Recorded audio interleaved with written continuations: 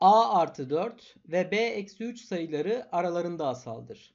ab eksi 45 eşittir 3a eksi 4b olduğuna göre a artı b toplamı en çok kaçtır? Öncelikle ab eksi 45 eşittir 3a eksi 4b ifadesini düzenleyelim. ab'nin yanına 3a'yı ve eksi 4b'yi alalım. Eksi 45'i de unutmayalım yazmayı. Şimdi a parantezinde b eksi 3. 4b var ve eksi 45 var. Buradan bir tane ben b eksi 3 oluşturmak istiyorum. Yine 4 parantezinde b eksi 3. 4b geldi. Buradan eksi 12 geldi. 45, eksi 45 olması için eksi 33'e ihtiyacım var. Onu da yazdım.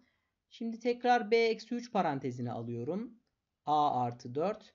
Eksi 33'ü de karşı tarafa 33 olarak atıyorum.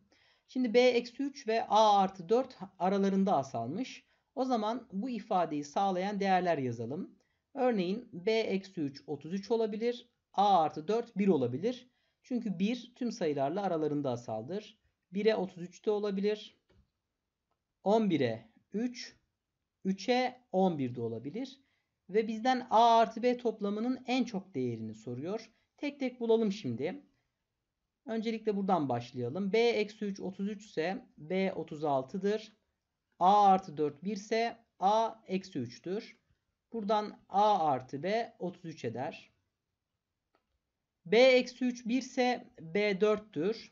a artı 4 33 ise a 29'dur. a artı b 33 eder. Demek ki en büyük iki değer 33. Buradakiler daha küçük çıkacaktır. Demek ki cevabımız 33 olur.